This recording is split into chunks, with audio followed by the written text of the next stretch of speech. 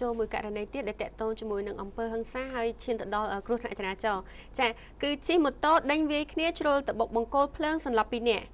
យុវជន2នាក់ចេញពីក្លឹបជិះម៉ូតូដេញវាយគ្នាតាមផ្លូវជិះទៅបុកបង្គោលភ្លើងដែកបណ្ដាលឲ្យដួលសន្លប់2នាក់កាលពីវេលាម៉ោង4ទៀបភ្លឺថ្ងៃទី26ខែកុម្ភៈមុខផ្ទះលក់មុខផ្ទះលក់កូនជ្រូកម៉ាស៊ីចាស់គឺមុខផ្ទះលក់កូនជ្រូកម៉ាស៊ីនភ្លើងស្រេងធាវតាមផ្លូវលេខ154កែង49សង្កាត់ផ្សារថ្មី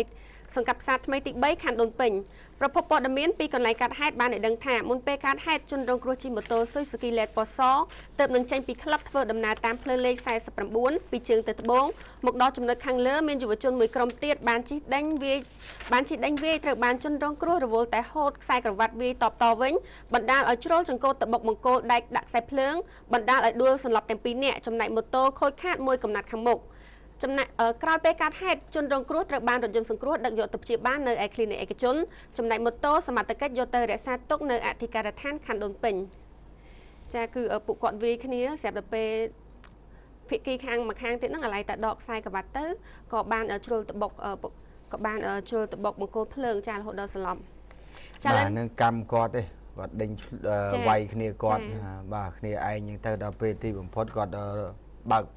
អាឡ័យតារំវាយគ្នាណោះដល់បើកអត់បានមើលមុខទៅបុកបកគោលភ្លើងណាបាទតោះទៀតចា